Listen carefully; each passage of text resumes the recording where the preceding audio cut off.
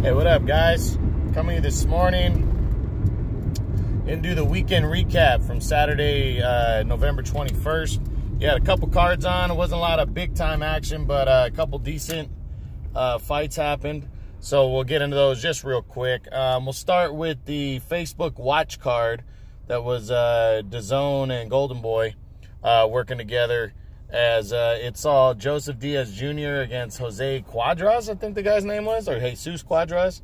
Anyways, um, ended up being a lot tougher fight than expected. Diaz uh, did his thing, but um, this uh, Cuadras kept coming forward, and it ended up being a pretty decent fight. And went to the scorecards where Diaz got a 10-round majority decision, so it actually was a lot closer than um, he expected it to be, but it looked like he was just overlooking his opponent is all it was and i think that's exactly it as he's looking forward to a title shot uh, hopefully against uh, tevin farmer. But we'll get into that when we do the what's next on diaz. But um, yeah so that's what happened there. Not, not, nothing else really big happened on that card. We'll look at the uh, next we're going to look at the other card that took place on fox sports 1 you had a couple fights worth talking about. Uh, my number 10 welterweight in the world former world title challenger thomas dulorme he surprised me, and he uh, after almost a year off and a draw against Jesse Vargas last October, he went in and got a unanimous 10 round unanimous decision over undefeated Terrell Williams, who was on the rise. He was a you know a prospect on the rise. I thought Williams was going to outwork uh, Dulorme, and Dulorme proved he still has what it takes to compete at a high level in the uh, welterweight division as he outworked and um, outworked uh, Williams and got a 10 round unanimous decision. So congrats to him. Uh, that keeps him in the top 10 and keeps him pushing forward. So uh, nice win for Dulorme right there.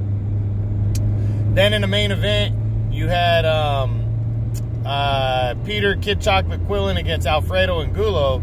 And surprisingly, Angulo got the win here. I believe it was a 10 round split decision. Quillin was trying to get himself back in line for possibly his last world title shot. And to be honest, I think that's kind of done now. I think this was a crossroads fight between two faded uh, former, you know, uh, once thought to be good fighters. Um, Quillin was a former world champion. Angulo, a world title challenger. Angulo, maybe he's got another uh, one last day in the sun uh, type deal. Maybe he'll get in line and get a title shot real quick against Caleb Plant or somebody.